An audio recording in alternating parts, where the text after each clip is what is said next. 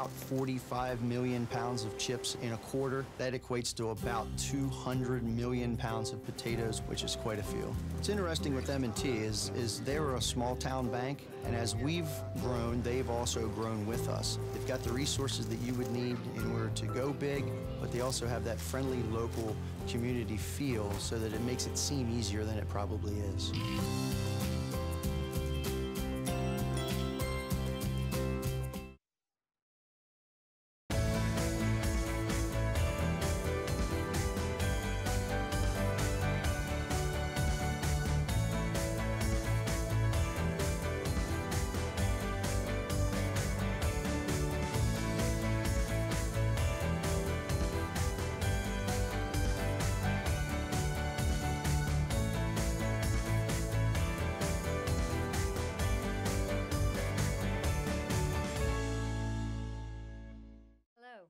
Welcome to Candidates Up Front. This series of interviews with candidates on the November 3rd general election ballot is brought to you by Berks Community Television and the League of Women Voters of Berks County. Both organizations are nonpartisan. That means we never support candidates nor political parties. Both organizations consider it their mission to provide voters with information about each election. I'm Judith Kraines, a member of the League. First, if you are not registered to vote, go to votespa.com to register. Votespa.com is in English and in Spanish, and while you have until October 19th to register, the smart thing, do it now. And if you do not want to stand in line on Election Day, apply for a mail in ballot. Again, go to votespa.com and do it now. When your ballot arrives, make sure you have the information you need on the candidates you'll be voting for, and watching programs like this will help, to make your decision. And once you've made your decision, mail that ballot in right away. We help our Berks County Elections Office handle this election smoothly if we are timely. If you choose to go to your polling place on Election Day, polls are open from 7 in the morning until 8 at night. This year, we vote for Pennsylvania Attorney General, Auditor General, and Treasurer. We will also elect representatives to the U.S. Congress, to the Pennsylvania Senate, and the Pennsylvania House of Representatives. The League and BCTV invited all but the statewide candidates to be interviewed. Some did not reply, some declined.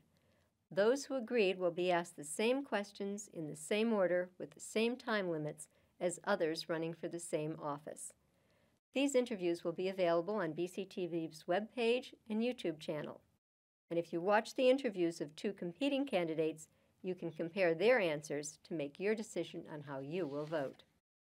This interview is for Pennsylvania Senate in the 11th District, and I believe we have a map.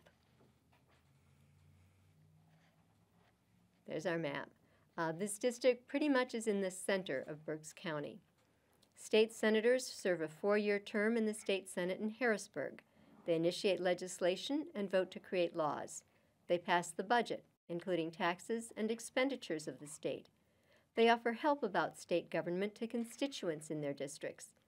The salary for a state senator is $88,610 per year, plus benefits and expenses. The two candidates are Judith Schwank, Democrat, and Annette Baker, Republican. This interview is with Annette Baker. She is the challenger. Welcome, Mrs. Baker. Thank you very much. Tell us, please, why do you want to be a state senator and what are your qualifications for this position? Well, I'd like to be a state senator because I've uh, watched um, from the sidelines for a number of years and I've decided that uh, now is the time to get involved actively.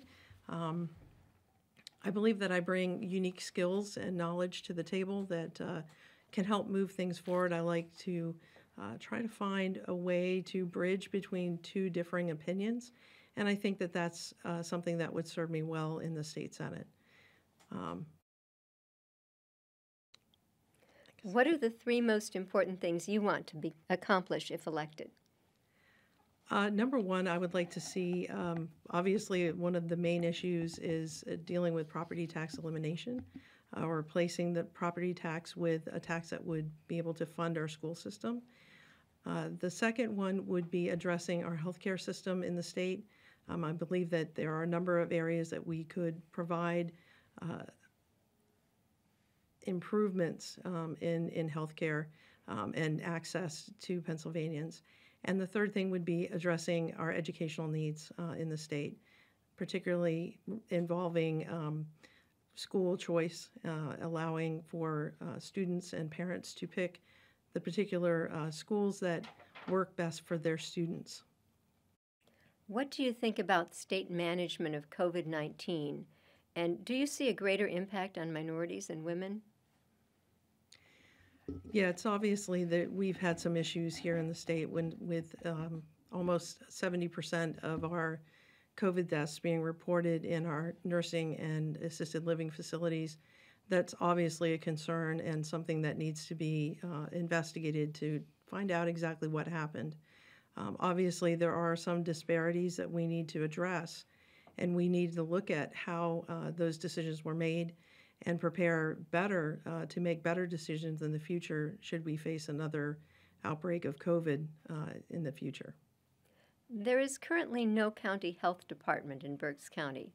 Do we need one? And should this be paid for by state government? I think we would need to uh, address that with the county commissioners to see what they, um, what their position is on that, uh, and then be able to work with them from the state level to determine uh, if if having a countywide uh, health office would would be beneficial to to Berks County. And what do you think are common sense gun violence controls the state should have in place?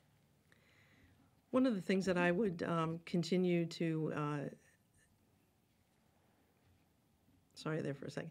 Uh, one of the things that I would continue to um, encourage is using the PICS system where we would um, continue to have background checks um, for gun purchases. Um, and the other component for, for me personally has been to encourage um, the idea that life is sacred. And if we can begin to cultivate a culture of life that encourages young people and uh, people that are, are uh, involved in violence um, to begin to understand that we need to um, be able to, to value in the individual that we may have a conflict with, that there's a way to resolve it without violence. And that's something that I would like to, to see encouraged and, and implemented. As a legislature, what will your role be to reduce violence in our communities? I guess it would be um, again, uh, encouraging a culture of life. Um, it's hard to ask um, young people not to kill each other in the streets when we don't value life um, in the womb, which I would recommend that we begin to culture, um, build a culture that will um, focus on uh, valuing all life, and that's something that I would support. Following the census, our state legislators will redraw district lines for state and federal officials. This has led to gerrymandering, districts that favor one party over others. Do you think this is fair to voters? And if not, what will you do to give voters fair districts? Yeah, gerrymandering has obviously been an issue um, for both parties, and I think that that's something that we need to consider when we draw new districts. I am in support of drawing um, districts according to the Pennsylvania Constitution, which require that they be contiguous and not separate municipalities um, and townships where possible. So I would strongly advocate to uh, make sure that we are following the rules in terms of um, setting up our districts and making them as uh, consistent and concise as possible. Small business is important to Berks County's economy. Will you favor additional state funds to help them survive the pandemic? I think where available, we could definitely use uh, state funds to help our small businesses. I think what one of the best ways to help our small businesses would be to find ways to safely reopen them and begin to expand um, the ability to get back to full employment. What should be done to prevent evictions and address homelessness during the pandemic? That's an interesting and, and difficult topic because I personally have met a number of people who have not been able to find new housing after having been evicted. Um, in part because new, um, well, landlords are having a difficult time uh, with um, getting the funds uh, for their rental units. So it's been something that has been uh, kind of a um, more uh, more of a concern um, that is actually forcing some people into homelessness right now. So I think what we need to look at is how do we uh, find a way to supplement or help people through this difficult period. Again, reopening businesses, allowing people to get back to work full time would help them be able to stay in their apartments or, or their rental units um, and also not put an undue burden onto landlords. What is your plan to address crumbling infrastructure in the state? I think one of the things that we could focus on is uh, looking at the um, use of our uh, tax dollars that come from our gas consumption, uh, making sure that those dollars are spent um, in uh, addressing our crumbling uh, bridges and, and roadways. I think that's something that we can uh, all agree is something that we need to have in place in order to make our economy run better in Pennsylvania. Will you support raising the minimum wage, and what should the minimum wage be? I would support raising the minimum wage um, as long as businesses would support it. I feel that uh, businesses are the ones that should have um, a major uh, input on what the minimum wage should be um, because they are the ones that um, that comes out of their bottom line. And I believe that once we uh, begin to um, force uh, increases on, on businesses, sometimes it, it actually has a negative effect, like what was seen in Seattle, where a number of businesses closed because they could not afford the $15 uh, an hour minimum wage. So min- the minimum wage is actually um, best driven, I believe, by the, market forces. And that's something that we can encourage businesses to uh, definitely, you know, encourage, offer uh, wages that that uh, are in line with what they can afford to to pay, um, but also have that minimum so that youngsters that are starting out in business uh, or their first jobs can earn a decent salary or decent pay as well. Agriculture counts for about half of Berks County's economy. Our local farmers are adapting as much as possible to changes in our climate. Do you think the state should do more to address climate change to protect local agriculture? And if so, what should the state do? Well, at this time, uh, with the changes in our climate, um, that is definitely something that we uh, need to be considering. It's um, been shown that even though our uh, climate is warming, um, we do have increased agricultural production, so we need to consider um, moving forward how we're going to address some of the issues that we may face with irrigation and water supply. Um, and that's part of my background is in environmental science. I studied um, the ecology and, and watershed management. So um, that's something that I am definitely very interested in learning more about and, and helping to provide farmers with more uh, information that will help them plan their crops and uh, production in the future. Pennsylvania has passed some bills to help root out rogue police. Would we be better off if we separated the crime fighting functions of police from their social service functions? I think one of the concerns that um, we would see with um, the idea of uh, separating the police and having social work um, as well uh, is that domestic violence calls are some of the most dangerous for police to respond to, as was seen in Lancaster just recently, unfortunately, uh, with a young man that uh, was shot. Um, that is a situation that, had a social worker responded, um, it could have been deadly for more than, than just uh, the young man that was shot but uh, potentially other people in in the uh, community as well. Do you believe there is systemic racism in Pennsylvania? And if so, how will you help change it? Racism, wherever it is, should be rooted out. And exposed and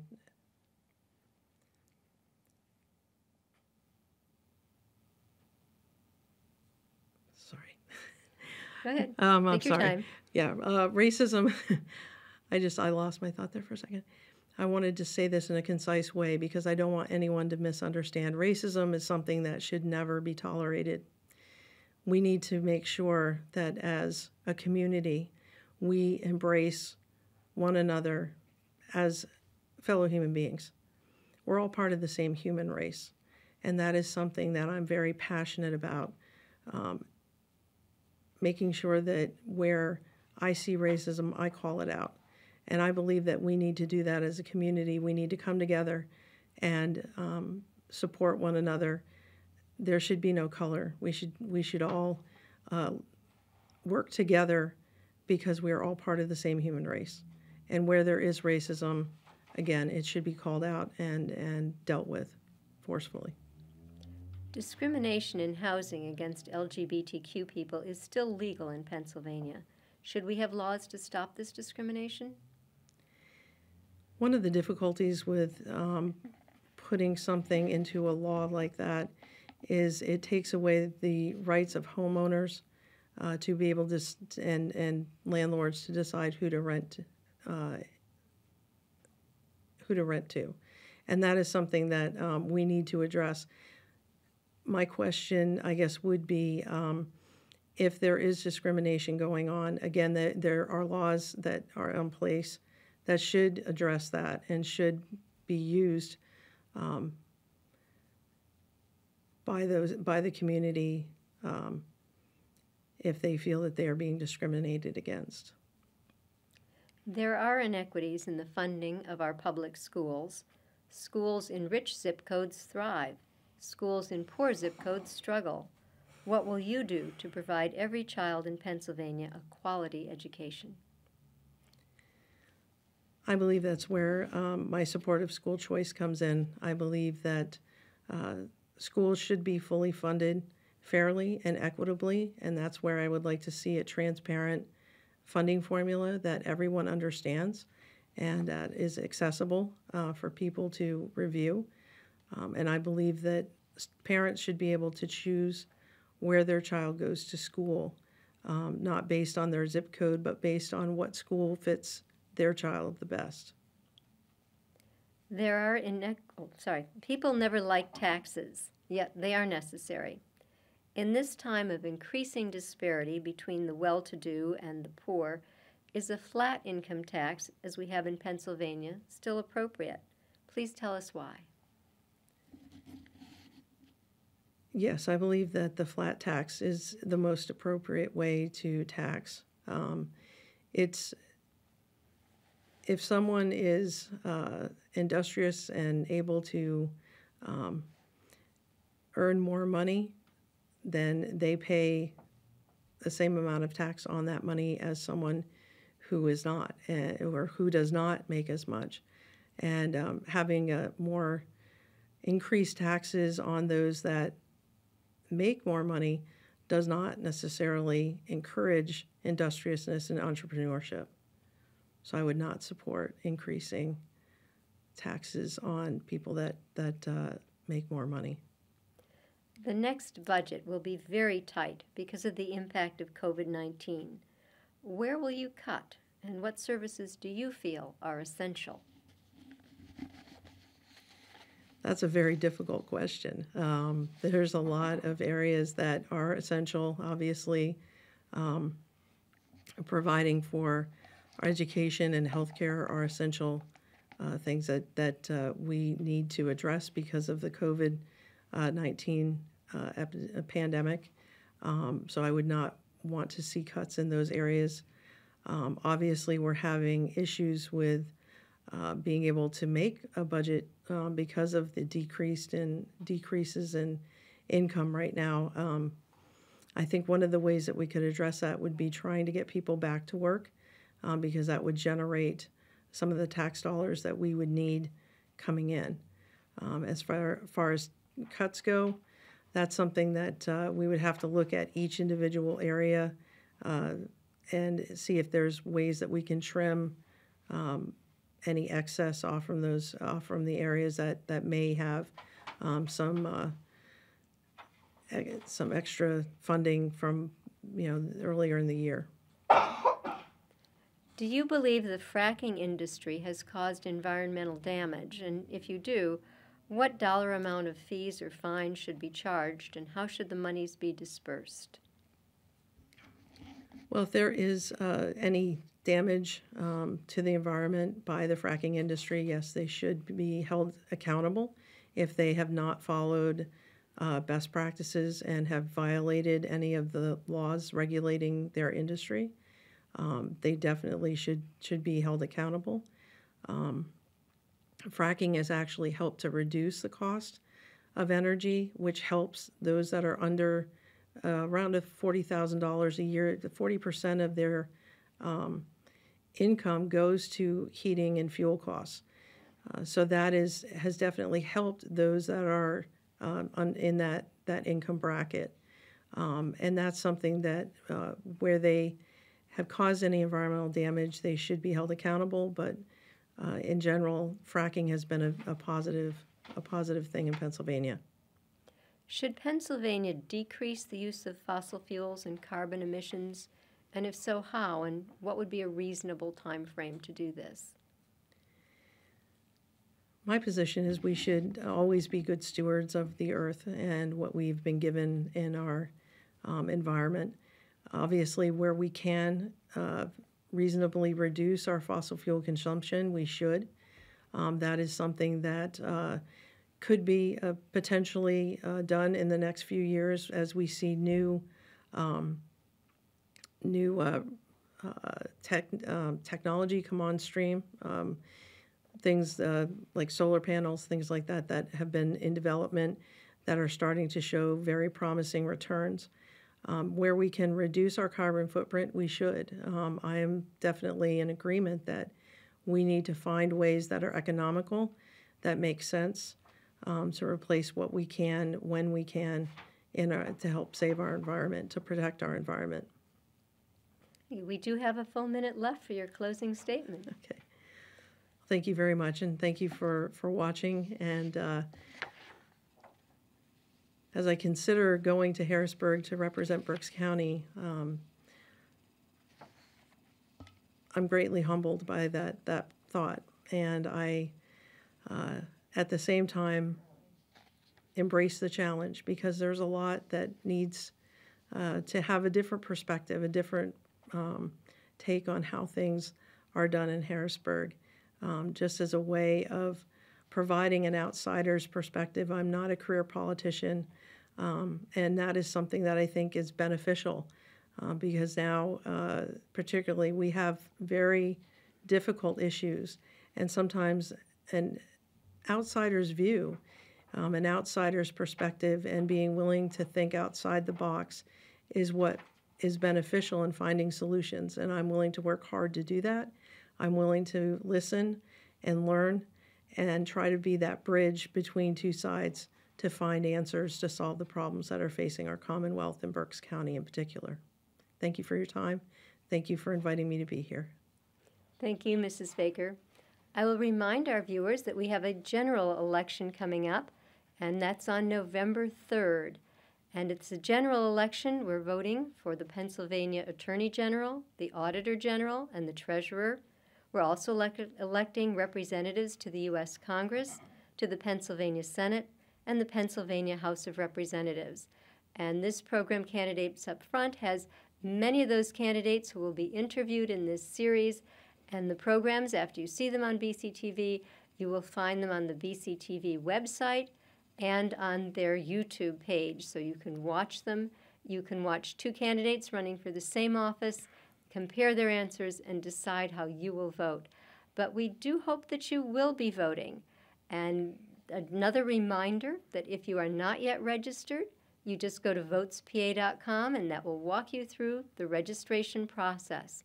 That website is available in English and in Spanish. There's a little uh, button to click. I think it, I remember it was bright red uh, toward the upper right hand side of the screen. So you find that, so get the language you're comfortable with so you can complete your registration. Uh, it's an easy process and it's fairly quick. Uh, the process does require either that you have a driver's license with the number on it, and if you have that, everything's completed uh, electronically. You are automatically registered using the signature on your driver's license. If you don't have a driver's license, um, you can print out the application for the ballot and mail it to our local county courthouse. And if that printer is not available, you can fill it in online. They will ask, I think, for digits from your social security number. And then when our county elections office gets that, they mail you back a card so that they can get your signature. You return that to the courthouse and you are registered. So the point is if you're going to do this and going to need to send it in with your social security number, you want to do that right away. That's the most effective thing is to do right away to get yourself registered to vote. Now, there are two other options you have. One is to wait till the election and go vote at your polling place. And the polls will be open on November 3rd from 7 in the morning until 8 at night. So that will work fine. That's how we're set up to go. But if you don't want to stand in line, you have the option of a mail in ballot. And you can get your application for the mail in ballot at votespa.com, just the same place that you registered. And I know I did that last spring when I applied. I got an email back saying they'd gotten my application and sent it on to my county office. When it arrived at the county, I got an email from the county saying they had received it, they'd be sending my ballot shortly. Before they mailed me my ballot, they sent me another email to say it was coming, so I knew to watch for it in the mail. When it got there, I did my background homework on the candidates, watching programs like this. It really helps. Or you can go to their websites, or they have Facebook pages. There's always a way to find information on the candidates. Uh, I'm sure our local newspaper will be printing some information as well. So there are plenty of places to find the information. Decide how you want to vote, mark that ballot, and mail it back to the courthouse. Now, when that happens, first of all, when the courthouse receives it, they send you another email to say, We got it, it's here, so you don't have to worry. And then when they confirm that your signature matches your signature on the books, they will send you another email saying your ballot has been certified. So it's a very easy to track system. And I think we help election services here, and they are prepared. They've handled, they've hired 10 extra people to handle the influx of ballots that they expect in this presidential year. So they are well prepared. County Elections Board has done everything it can do to make sure this election will go smoothly. So it's very easy. All it needs is for we, the citizens, to do our part. We have this ability to vote, this right to vote. It's also a responsibility. So I urge you to make sure you're registered and make sure you vote. And thank you for watching Candidates Up Front.